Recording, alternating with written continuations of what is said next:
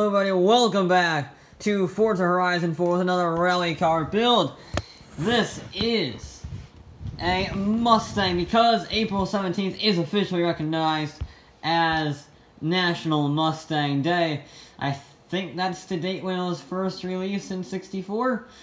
So, yeah. Now, this is not a 64, this is a 1968 Bullitt Mustang, everybody knows that probably the most famous car chase in the history of cinema. And I'm gonna go racing up a mountain with it. Now, we have had modern muscle cars go before, but not a classic. And this might actually stand a pretty decent chance. Here's the problem, though. That's all well and good. But I want that. That's just better in every way. So I'm gonna see, and that just kind of ruins it, you know? Just, that's just wrong. On so, so many levels. So is that. Get that garbage off of my Bullitt, okay? We have to have the Bullitt body kit. I'm sorry. Will it be slower? Yes, I'm not putting these on. I refuse to. It's stupid. Will it be slower? Yes. However, I want my bloody Bullitt. We do have two 7.5s on the rear, on the front and three 4.5s on the rear. Those are some big tires. We will widen them. We will wind them. We're going to want as much grip as possible considering we're not going to have very much aerodynamics. Now, this is going to be interesting. This will be an interesting experiment because we've never had a car with run without Forza. I guess we have, haven't we? We had the buggy. The buggy ran without Forza Aero. But the buggy was a bit terrifying and didn't have as much control. So I'm expecting, hopefully, this to be a bit better in the control department. We're going to try out the standard engine just to see if it's possible. I don't think it is because it's because we are only halfway through S1 class. That being said, power is PI is shooting up quite rapidly. This engine actually gets an awful lot of power. But not enough to get us to the top of the class, unfortunately. I mean, that's a lot of power. That's actually the devil's number of horsepower. That's a lot of power from the stock engine. I did not expect that. But it's not going to be enough. We have the 2.6 liter i6. We have the 5.2 liter V8. 8.4 liter V10, 7 liter V8, 6.5 liter V12, or the racing V8. Considering we just had the racing V8 go, did the racing V8 go last time? No, it didn't because we had the bubble car, right? I feel like sticking with Ford though and going with the 7 liter V8. I mean, for God's sake, it's a GT40 engine here. And in fact, having a GT40 engine in a Mustang is not completely unheard of. So, provided it can reach the top of the class, we'll go for that.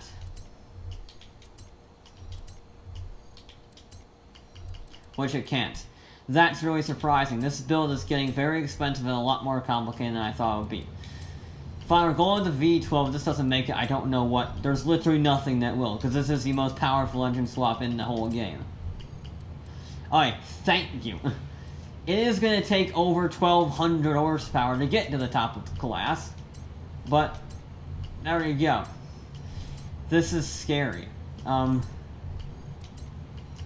why is it this much power? That's my concern. I am deeply concerned for my Mustang, because that's an absurd amount of power. That's 1,300 horsepower. In my Mustang. And yeah, it's on rally tires. However, that's a 1,300 horsepower car. Now, just curious, what would the Aero do? What would the Aero do? 8 PI, 1 PI. So, I only gain a few PI from that, in terms of handling. Yeah. Let's see if I can channel my inner Steve McQueen. the wild card Bullitt Mustang. It's going to try and be a 226.5 set by that Aston Martin.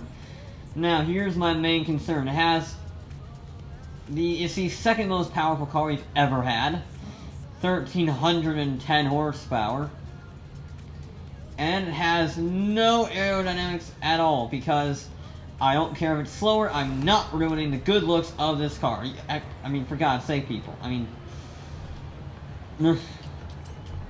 that's just, I will do a lot, I will do a lot of bad things to cars to make them fast, but I refuse to ruin the one the, probably the most iconic movie car of all time, except for maybe the DMC DeLorean. But yeah, what this is gonna have is ludicrous acceleration and hopefully lots of grip. Because those are big tires. And it's a good weight, 13, 3,000 pounds. It's not crazy light, but it's also not too absurdly heavy. Which means it might not get tossed around by the bumps. That's our hope anyway. We shall see how that actually turns out. It is a bit floaty. You know, we're just gonna do it. Yeah, um, brakes are not very good, I will be honest. Brakes are not very good, and it does get a little bit floaty at high speeds. That's 130 miles an hour. This thing, this thing is brutal. Jesus Christ. If I can control this car at all, which seems unlikely, I will be honest it just, it brings a whole new sense of speed to the course. This thing is terrifying.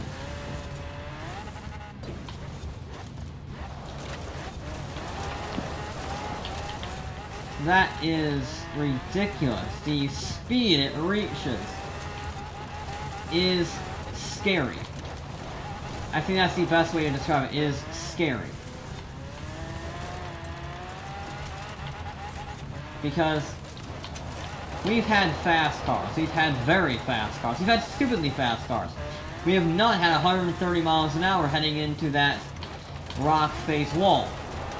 That is something we've never had before.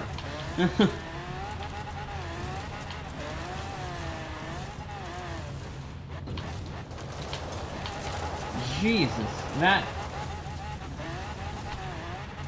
Okay. I'm very curious as what this time is going to be, because we've actually gone backwards part of this. It's not going to be a very good time, let's just put it that way. It's not going to be a very good time, we've had some very bad corners. We've had, a, well, um, an outbraking maneuver so bad that I actually just did a, I just completed the spin out, and that was faster than trying to do the traditional turn left. I turned right to turn left in that case, on that front straightaway. So yeah, it's not going to be a very good run, Hmm. I don't know. This I'm I'm doubting this vehicle as a serious contender of the top five. I will be honest, because it's not very good. But we're gonna see how it goes. I mean, it's not gonna be the worst time ever recorded for a first run. A two, a two thirty-four. Not terrible. However, there is certainly a lot of room for improvement. Okay. Let's just have a nice, smooth, clean run. That would be nice. I will be honest, that would be very nice if we'd have a nice, smooth run. If we, as long as we don't have any problems, we don't outbrake ourselves, we don't go too fast in the corners, we will get a half decent time, I think. I'm hoping for a top five. That will require doing a sub three minute, a sub two thirty. Sorry, sub two thirty. We'll see that's possible. It's not. It's gonna be terrible on the corners, but maybe it can make it up with some sheer brute acceleration. Very similar to the um, Plymouth that went out last time, the atomic thingy, because that's 143. Get on the brakes nice and early. There we go. That's what we want. I mean, this thing is faster than the Atomic. the Atomic was very fast. This is what we call absurdly fast. It... So let's just see if we can control it around these corners. Which is not looking very likely, I will be honest, based on the way that it's moving across these bumps. It's not the biggest fan of going in a straight line. The traction is not too bad. But just the sheer lack of turn in and outs and all sorts, just turn in general really, just the sheer lack of turn, that is a scientific racing term, um, is apparent, shall we say. And yes, I know if I don't have any aero on it. I'm aware of that, but I don't care. I don't care. I want my good looks. I mean, I'm ruining the good looks with some mud, but... Okay, that's, um... Quite oversteery. I didn't really intend for that much oversteer, I will be honest. There we go, that's a beautiful double apex, I will say. Beautiful double apex. Now I chuck in a little bit. Now power, power, power, power, power, there we go. Not the worst line you could ever take through there. Had a little bit of a down on the brakes just to get it nice and smooth through these corners. There we go. This is looking to be a much better run, at least. At least it's going to be a clean one. There is still some room for improvement, a little bit less sideways in a few corners. But all in all, it's not too bad. Maybe a little more sideways through there would have been nice. Help get that front end turn just that little bit more. Now got the power. There we go. It's all about getting that front end turn. That's 131 heading in on the final straightaway. It's not gonna be a terrible run, you know? It's not gonna be terrible. It might not be a sub 3 minute, but it's gonna be a 3 uh, a 233, a 230, sorry, 236. That's not bad. That's, that is, I believe, just a tenth of a second off of the Porsche 911. Not bad. Final run for the Mustang Bullitt. I want it to beat the Porsche. I, I know it can beat the Porsche. I know this vehicle can beat the Porsche 911, that brand spanking new one. It's all a matter of can I control the Fury? Can I control the sideways? If I can, if I can get it, because you need to get this vehicle sideways in order to get it turned. But sometimes I go a little too sideways, like we saw in the hairpin at the hill. So if we just not do that, that will be easily faster. Because that roll is actually pretty solid, with the exception of a few sideways moments, that was pretty darn solid. So, yeah, let's just see if this vehicle can beat a modern Porsche 911 with aerodynamics, rear engine, German engineering, etc. In which case, I guess you could say nothing beats a good old-fashioned American car fitted with an Italian engine. Yeah, that's how the saying goes. Or you can just say power beats all. That's another easy way of saying it. I don't know if it was fast at that section, but it seemed a bit better. We're carrying a bit more speed anyway. We've got two wheels, apparently. Don't know when. Ugh. I, I'll be honest, I did not want air on that corner right there at that moment, because that doesn't help you turn. And we kind of need to turn. We need all the turning we can help, we can get. Duh. Nope. That's a missed checkpoint.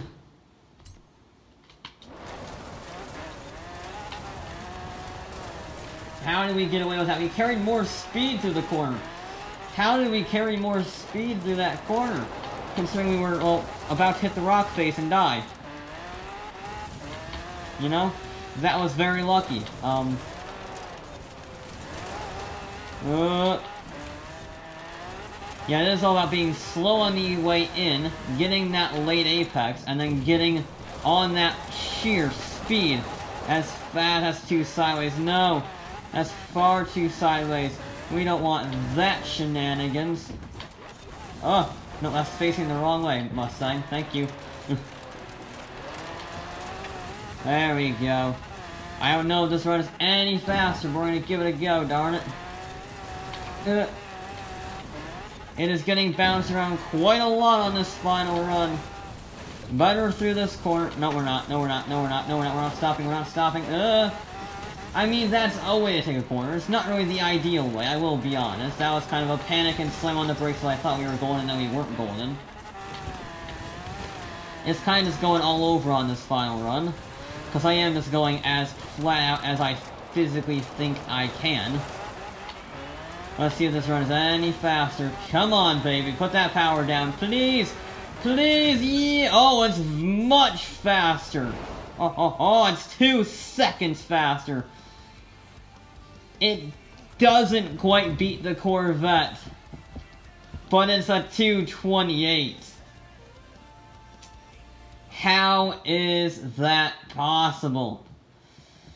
I think it might have just squeaked into the top five, not as very close. It is six tenths of a second slower than that 2009 Corvette, but it's faster than the Nissan, it's faster than the Mercedes, it's two seconds faster, near enough to than the Porsche.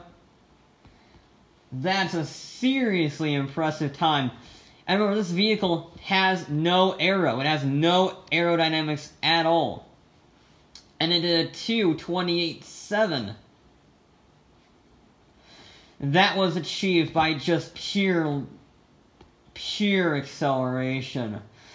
It does not carry corner speed. It doesn't. I got very lucky with that wide corner that was able to get me about 60 miles an hour on the crest of the hill. I got very lucky there. But, oh, that was close. Whew. So there you go. You don't need handling sometimes to go fast. All you need is ludicrous power. That is going to be it for this episode of Forza Horizon 4 back with more